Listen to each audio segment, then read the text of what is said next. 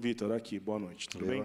Pensando na próxima partida diante do Juventude, é uma viagem desgastante, um local difícil, acesso. Qual time você pretende levar para terça-feira e como trabalhar esse elenco sem perder pontos fora de casa? É um local difícil ac- acesso, mas nós não vamos a pé, não. Não vamos a pé, nem vamos, nem vamos subir nenhuma montanha, acho eu. Senão deixo-os aqui todos. Não, vamos, eh, não há dúvida que, que vou ter que. hum, Mas eu não sou muito de deixar os jogadores, eu não sou muito de deixar. Eu, eu gosto de criar um espírito. Nós para termos. eh, Eu não gosto de ter jogadores só para determinados jogos. Nós só somos uma equipa e, e viajamos juntos e apoiamos juntos. Eh, Mesmo que eh, sejam jogadores já com estatuto, eu acho que eles têm que acompanhar a equipa. Se, forem, se for preciso, se houver necessidade, têm que entrar. Alguns vão ter que jogar de início. Eh, e, eh, e porque os outros também, quando são de fora, também os apoiam.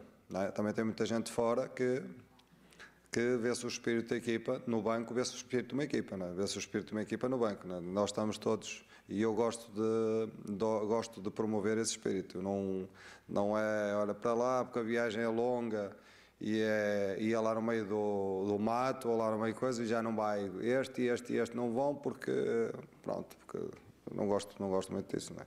É claro, só, em, só se estivermos, estivermos a, falhar, do- a, fal- a falar de uma final, o jogo seguinte é uma final, aí, aí até sou capaz de deixar alguns. A única vez que deixei os jogadores de fora foi contra o, o Palmeiras. Quando cheguei cá estavam todos com, com gripe. Estavam todos com gripe. Aqueles que eu deixei para preservar, chegar cá estavam todos doentes. Portanto, saiu exatamente ao contrário. Quando lá fomos estávamos, estávamos todos eh, em situação, hum, pronto, foi o que foi. Portanto, vai ser assim. Tudo na viagem e depois tudo para cá outra vez.